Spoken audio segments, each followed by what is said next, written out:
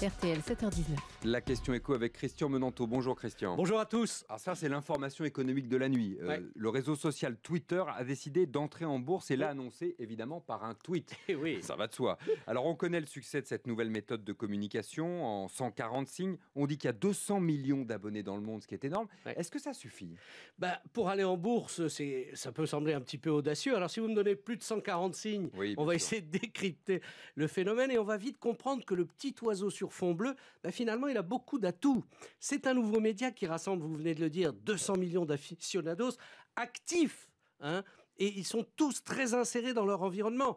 Twitter s'est imposé aujourd'hui comme un moyen de communication qui est incontournable dans le monde des affaires. C'est par exemple par ce canal que les grandes sociétés cotées publient leurs messages aux investisseurs. C'est aussi bien sûr avec cet outil que les personnalités politiques ou celles du showbiz entretiennent leur commerce. Vous savez, Barack Obama, c'est 37 millions de suiveurs permanents. Lady Gaga ou Justin Bieber, qui sont les cash machines de l'industrie du spectacle, eux, ils en ont encore beaucoup plus. Et puis, cerise sur le gâteau, ce réseau n'est pas toujours aussi futile. Il a été l'instrument privilégié des grands mouvements sociaux à travers le monde, le printemps arabe, la colère de Wall Street. Donc, autant de raisons d'intéresser les Oui, mais ce qui est investisseurs. frappant, c'est que cette semaine, vous nous racontiez Mm. euh, la, la sortie de la bourse de Dell, qui est un opérateur informatique euh, historique, euh, numéro 3 mondial du PC, et au même moment, le genou, si j'ose dire, Twitter, rentre en bourse. Il n'y a pas de paradoxe. Ben, Il y en a un qui se construit et l'autre qui se reconstruit. Alors on va s'intéresser à celui qui se construit parce que c'est quand même l'opération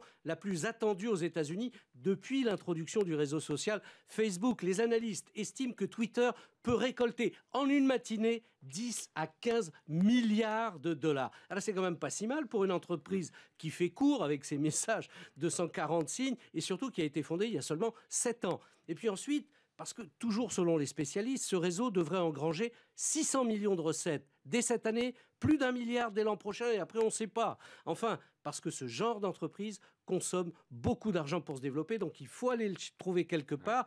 Twitter a racheté il y a quelques semaines pour 350 millions de dollars une société de publicité sur le mobile. Elle va devoir continuer ce type d'investissement pour se développer et aussi pour faire face à des concurrents qui surgissent un peu tous les jours aux États-Unis. Et puis ne l'oublions pas, c'est quand même aussi une belle occasion pour les fondateurs de somptueusement valoriser leur mise initiale. Twitter aussi est une machine à cash, si je comprends bien. oh oui. Euh, cela dit, aller en bourse, ça avait été euh, compliqué pour Facebook, qui a Oui. mis quand même un an à stabiliser la situation. Absolument. Là maintenant c'est fait, mais ça pourrait l'être aussi pour Twitter parce que il y a quand même quelques handicaps. On ne sait pas grand-chose de la réalité de ces comptes. Bien sûr, on pressent sa capacité à gagner de l'argent en monnayant le site, avec euh, l'activité de tous ses suiveurs via la publicité, les listes d'adhérents, mais il faudrait quand même en savoir un peu plus sur sa capacité technologique, sur ses possibilités de résister à un nouveau compétiteur qui lui serait un peu plus avancé technologiquement. Et vous savez, Facebook a connu l'enfer durant sa première année de cotation, avec même des procès à la clé. Donc, on ne souhaite pas ça à Twitter, mais enfin, il faudra être vigilant. Votre note ce matin?